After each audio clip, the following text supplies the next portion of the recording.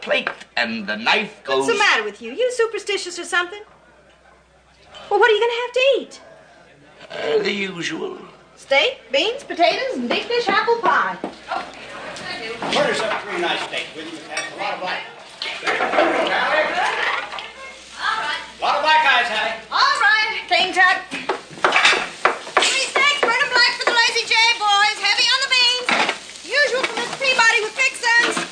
Steak, beans, And dish apple pie. Someday he orders something different and they all faint dead away.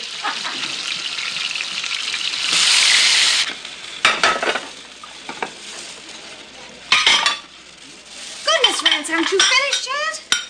Here, no wonder if you don't keep your mind on it. Let me help you. Allie, I found it. Here, I'll show. No, my hands are too wet. No, you, you get the book. Come on, take the book a minute. Nora, Peter, come here. I want you to hear this. Get the book. Now, that place right here where it says, under the law of this territory, you, you, Hallie, you read it out loud. I got Liberty Valance just exactly where I want it. Just exactly where I want it. What's the matter? Go ahead, read it. I can't. What? You, well, why not? Well, I never had the school, and that's why not.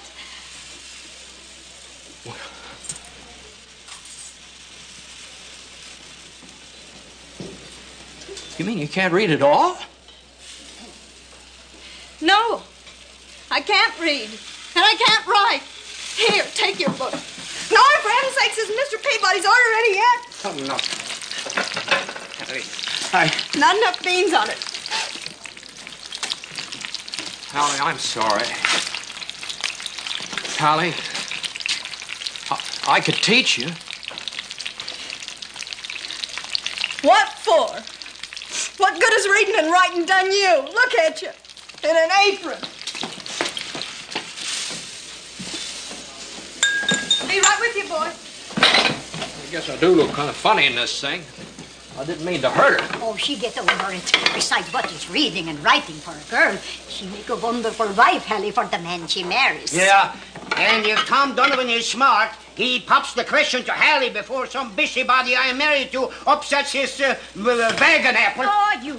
You go sit down, eat your supper before come the drunks. I'm not finished yet. Go sit down, eat.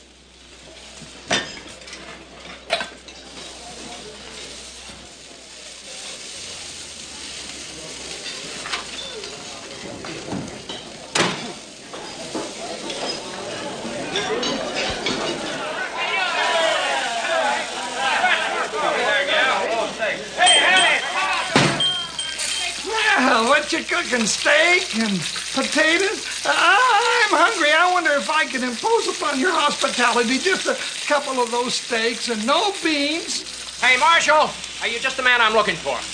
Shh, not so loud.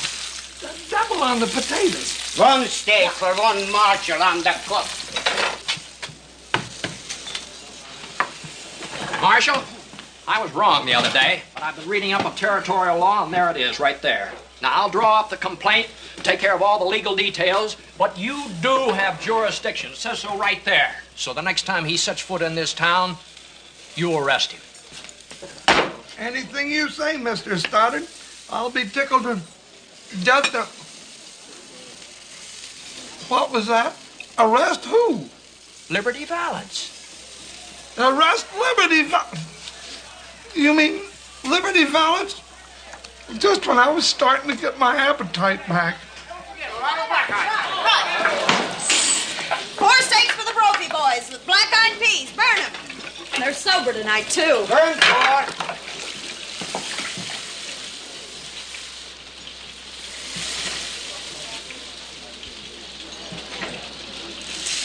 Here's the supper for Rance.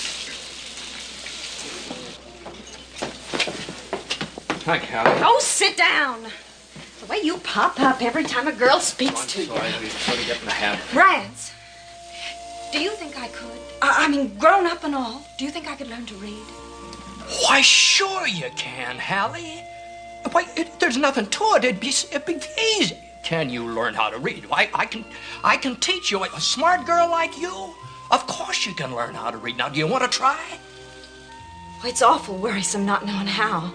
I know the good book from Preacher Talk, but it'd be a soul comfort if I could read the words myself. Hallie, I'll teach you how to. In, in, in no time, you'll be reading everything. Well, Hallie, can I have just one more steak?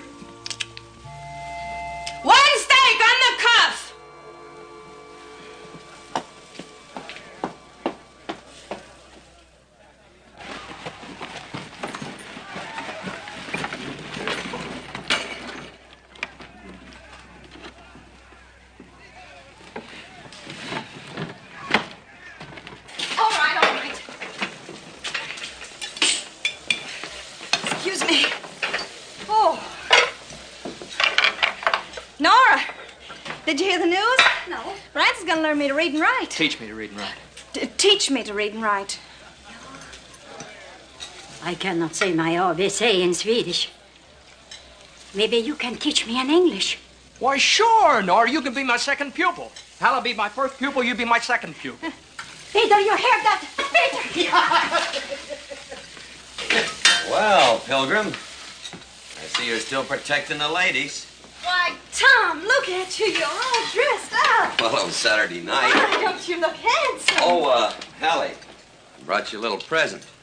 Tom, Prettiest cactus rose I ever did see. my, it is a beauty. Look at it, Nora. Should look nice in your garden. Oh, but it should go in the ground right now, and I'm Let gonna me be... plant that for you, Miss Hallie. I'll be pleased to. Oh, thank you, Pompey. Oh, the hash knife grip just arrived. Burn eight. Not too close to the ocotillo bush, Pompey. Yes, ma'am. Ransom Stoddard, attorney at law. You're a persistent cuss, Pilgrim. You really aim to hang that up outside somewhere? That's why I painted it. Well, take some advice, Pilgrim. You put that thing up, you'll have to defend it with a gun. And you ain't exactly the type. Coming up. Oh, girl six hands on Saturday night,